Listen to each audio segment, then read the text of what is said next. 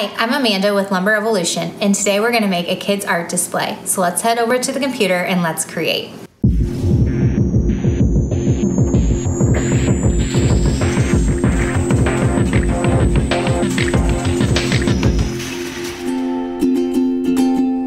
All right, I just put my dry erase board in. Um, I have the Pro, so I just used the pass-through slot just to try to save some room on the material. You can have them cut this down at Home Depot, and that's where I find this dry erase board. It's reversible, so one side is the chalk-based and one is the white dry erase board.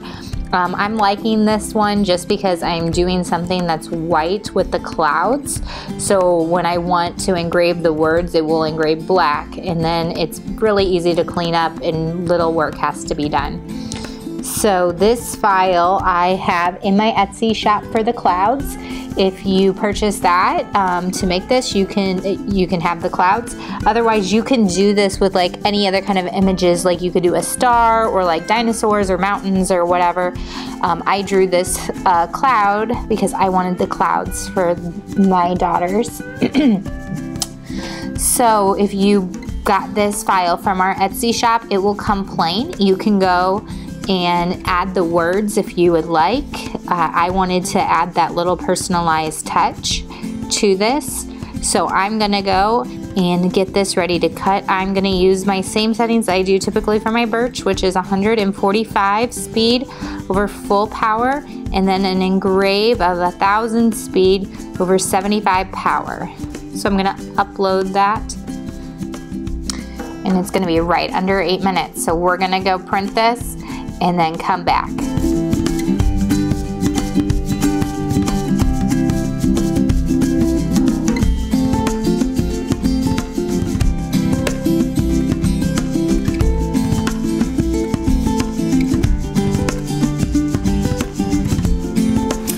Since we didn't mask, these come out charred, but I'm gonna use the magic eraser and this is gonna clean right up on both these really quick. And then I just picked some acrylic paints that I'm gonna use to paint the top portion of each of these uh, clothespins. So let's go do that.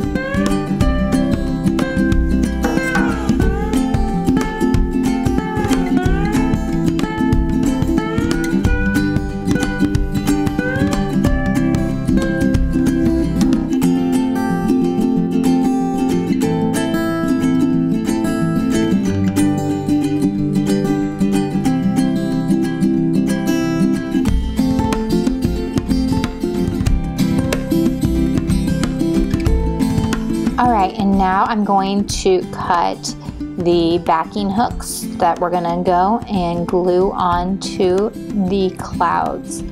So I just used a little piece of scrap that I previously had. I'm gonna do this, cut the birch at the 145 speed over full power.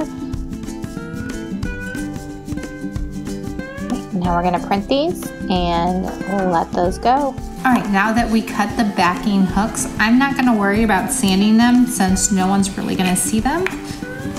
So I'm just going to super glue them to the top.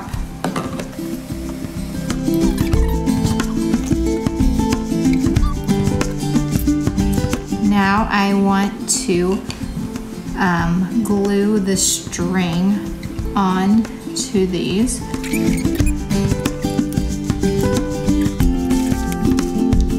I'm going to do is I'm going to hot glue the string on. So I'm just gonna use a little bit of hot glue. And what I think works best is I just tie a little knot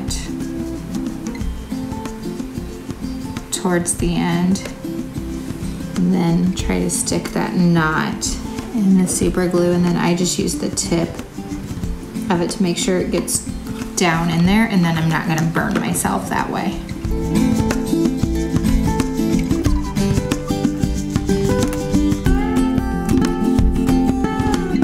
I'm gonna let these dry for a little longer and then we're gonna go hang this up.